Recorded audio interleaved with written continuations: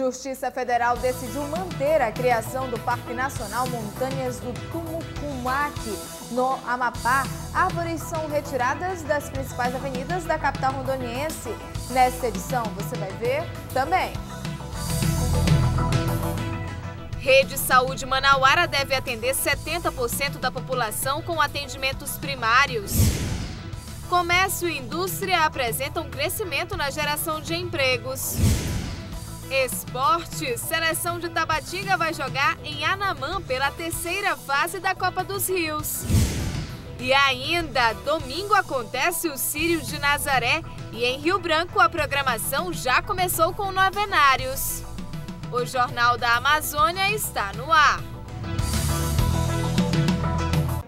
Olá, boa noite. A população exige segurança. A violência gera preocupação e nenhuma cidade está livre deste problema. Um assalto a uma casa lotérica parou a cidade de Rio Branco, capital acriana. O desfecho você acompanha agora na reportagem. Era por volta das 10 horas da manhã quando dois homens armados entraram nesta casa lotérica no centro de Rio Branco e fizeram mais de 20 pessoas reféns entre funcionários e clientes. O assalto afetou a vida de toda a população da capital acriana. Ruas foram interditadas e prejudicaram o tráfego de veículos. O isolamento feito pela polícia militar não impediu o olhar dos curiosos. Os bandidos fizeram exigências, coletes à prova de balas e até comida. A todo momento, parentes e amigos dos acusados e também dos reféns chegavam ao local. Foram cerca de seis horas de muita tensão e medo, mas só no final da tarde desta quinta-feira os assaltantes decidiram se render. A Polícia Civil investiga a participação de uma funcionária da casa lotérica no crime. Ninguém se feriu. Nenhum dos reféns foi sequer foi agredido por um deles, ninguém saiu ferido, nem mesmo os tomadores de refém. Tampouco os reféns, tampouco policiais envolvidos na ação. Na manhã de hoje, um homem que dirigia um táxi acabou detido após furar bloqueio policial na área da Manaus Moderna, no centro da capital amazonense. Ele foi perseguido até um conjunto na Zona Sul. O homem teria uma doença terminal e dentro do veículo foi encontrado um estilete.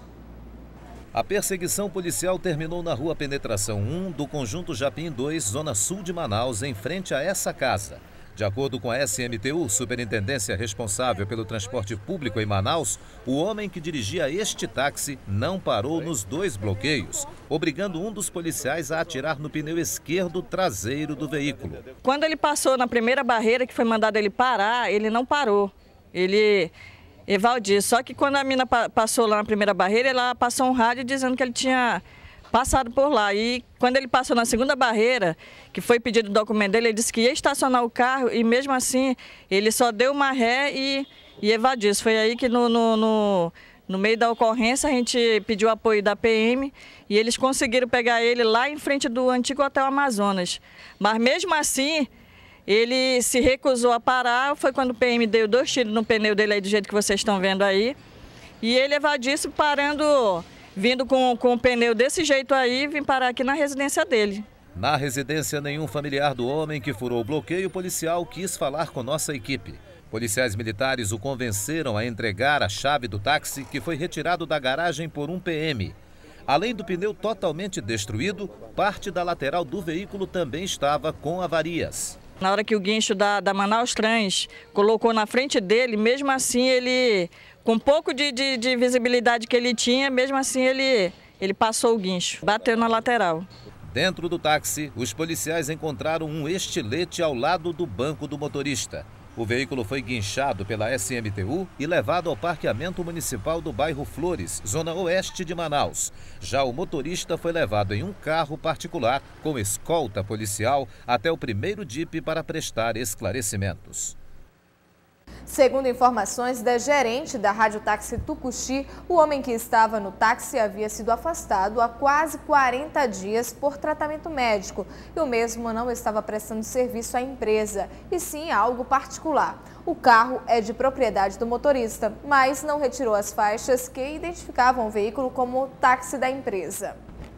Mudando de assunto, fortalecer a atenção primária. Este é o intuito da Rede Saúde Manauara. A iniciativa surge como um pontapé para minimizar as deficiências da rede pública do serviço. Filas à espera de consultas, demora no atendimento e superlotação de pronto-socorros e hospitais são alguns dos problemas enfrentados por quem precisa utilizar os serviços de saúde pública em Manaus. Uma realidade que pode ser mudada a partir da Rede Saúde Manauara, lançada nesta sexta-feira pela Secretaria Municipal de Saúde. Agora nós vamos ter integração entre a atenção primária, a atenção secundária e a atenção terciária, formando uma rede para atender às necessidades da população. A atenção primária vai ser o vínculo entre a comunidade e o sistema. A partir dessa atenção primária, nós vamos trabalhar todas as necessidades dessa população, de forma a garantir a integralidade da atenção. Uma das metas do programa Rede Saúde Manauara é conseguir atingir 70% da população de Manaus. A esperança agora é que os problemas enfrentados pela saúde pública na cidade sejam substituídos por um atendimento mais humanizado e próximo à população. A criação da rede foi feita a partir de um diagnóstico da saúde na cidade onde foram detectados problemas como a falta de comunicação, ausência de padronização nos atendimentos, dificuldades para atender a demanda e a falta de classificação de risco, que determina a urgência ou não do atendimento. Na realidade, tudo que nós esperamos e desejamos é de que nós possamos ter maior oferta de serviços com mais qualidade e com mais humanização porque na saúde nós lidamos com seres humanos que estão nos procurando na busca de solução de problemas ou até nos procurando para que não adoeçam, que é o caso da medicina preventiva. E por isso é importante que esteja em cada pessoa que trabalha na área da saúde, em cada área física de ambiente, de ambiências, o toque da humanização. E o que nós temos hoje e que já vem há muito tempo em Manaus é uma desordenação e uma desorganização do sistema, fazendo com que pessoas que poderiam estar sendo muito bem atendidas numa unidade básica de saúde estejam procurando uma unidade da média complexidade, a exemplo dos SPAs. Os investimentos são da ordem de 80 milhões de reais oriundos do governo federal e 70 milhões da prefeitura. Serão 49 unidades de saúde criadas, 45 reformadas e 28 terão ampliações. Nós vamos desafogar a rede estadual, porque seria um erro enorme nós imaginarmos que uma instância aqui pode se descolar da outra, não pode. Nós temos que ter a rede eh, estadual funcionando bem para marcar consultas das pessoas que nós não podemos atender. E nós temos que ter a rede municipal funcionando perfeitamente, porque senão os pacientes, eu dou o exemplo do, do pessoal que sofre de diabetes, das pessoas que sofrem de pressão alta, de hipertensão, elas acabam correndo para a rede estadual. E o comércio está em alta. Segundo dados da Câmara dos Dirigentes Logistas de Manaus, a atividade comercial deve aumentar nesse fim de ano. E a produção na indústria deve subir ainda mais nesse mês. Isso significa geração de emprego e renda na capital amazonense.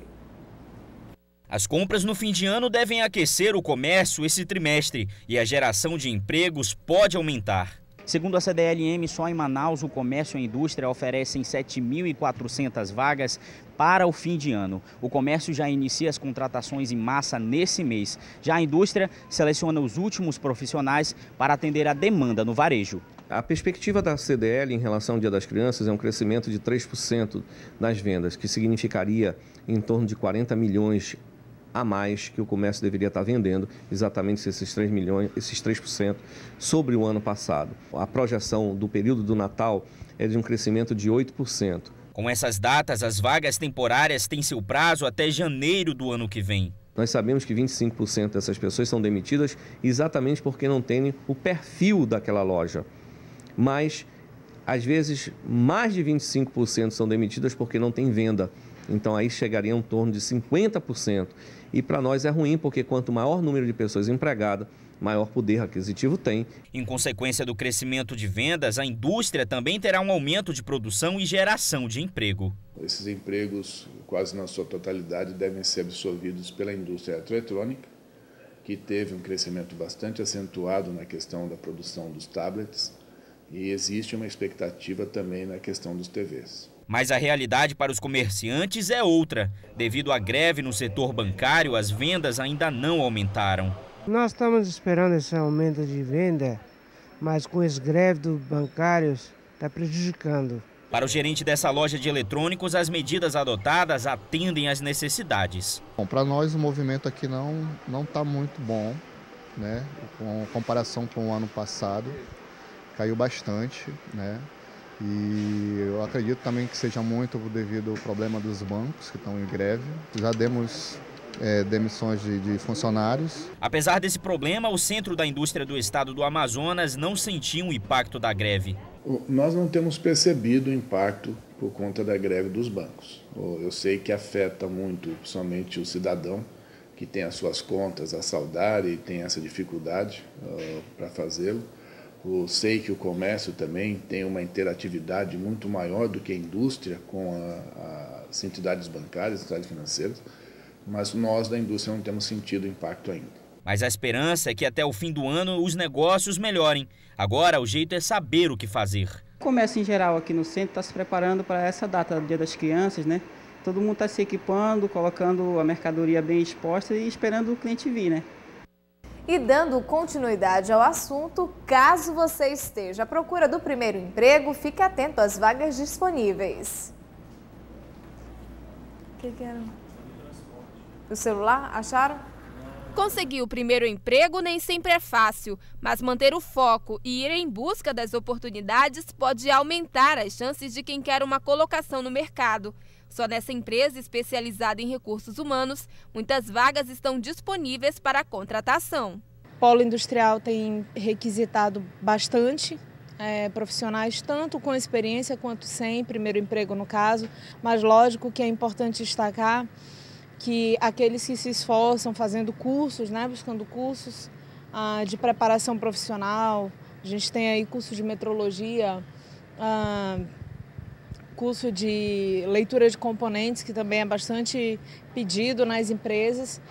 Enfim, buscar uma qualificação para conseguir uma vaga, mas vaga para primeiro emprego nós temos bastante, estamos solicitando candidatos realmente. A qualificação é um diferencial, mas é importante ficar atento a outros requisitos e a forma como proceder para conquistar uma das vagas disponíveis. Que tenha normalmente maior de idade, claro, ensino médio completo, enviar os currículos, pode cadastrar no site da Strategic ou pode vir deixar aqui na nossa empresa, a gente também continua recebendo na portaria os currículos dos candidatos.